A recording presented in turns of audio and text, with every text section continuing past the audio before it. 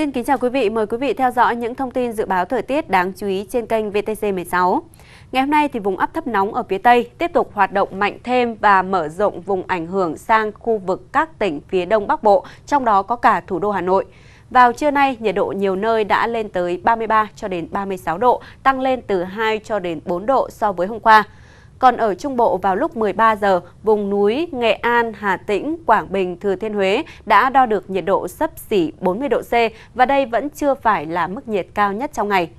Dự báo vùng áp thấp nóng vẫn tiếp tục hoạt động mạnh và gây ra nắng nóng cho khu vực các tỉnh miền Bắc và miền Trung trong vòng 3 ngày tới.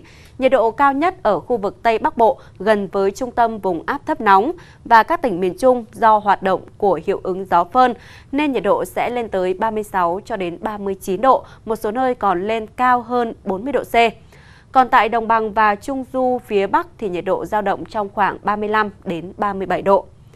Đợt nắng nóng kéo dài ở phía Đông Bắc Bộ sẽ giảm dần bởi hoạt động của khối khí lạnh đẩy giải thời tiết xấu từ phía Nam lục địa Trung Quốc xuống vùng núi nước ta.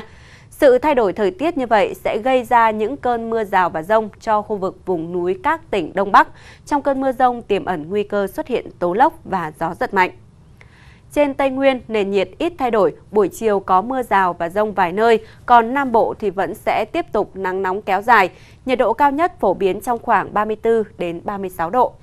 Điều đáng lưu ý đối với thời tiết trên biển đó là hoạt động mạnh của vùng áp thấp phía Tây sẽ gây ra gió Nam hoạt động mạnh cấp 5, cấp 6, giật cấp 7 trên vịnh Bắc Bộ. Đây là thời điểm không thuận lợi cho tàu thuyền ra khơi. Dự báo tới ngày 22 tháng 4 tới thì tốc độ gió ở trên vịnh mới giảm dần. Để giảm thiểu thiệt hại trên cây trồng và vật nuôi trong những ngày nắng nóng, bà con nông dân cần phải lưu ý thực hiện những công việc như sau.